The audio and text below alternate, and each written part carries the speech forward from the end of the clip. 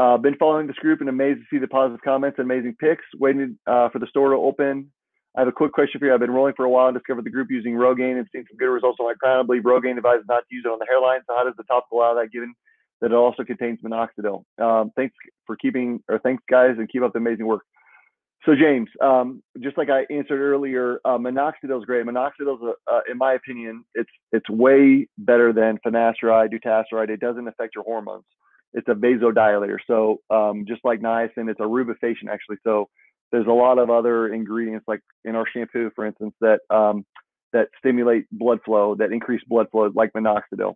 Um, but minoxidil um, is a it's a vasodilator. Um, but the reason why it is not completely it's not a complete effective solution for hair loss.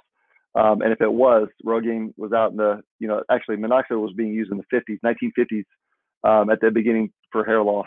Um, so if if minoxidil was the solution to hair loss, I wouldn't be here uh, doing what I'm doing right now. Um, so while it there are benefits to it, it does nothing at all to stop the cause of hair loss. So it's like it's treating the symptom of hair loss, trying to increase blood flow, but it's doing nothing to to do it's doing nothing to treat the actual cause or the or the restriction of blood flow. Um, so yes, that's why um, that's why it's so effective is um, because it's actually treating the cause of hair loss at the site of hair loss, which is the hair follicle.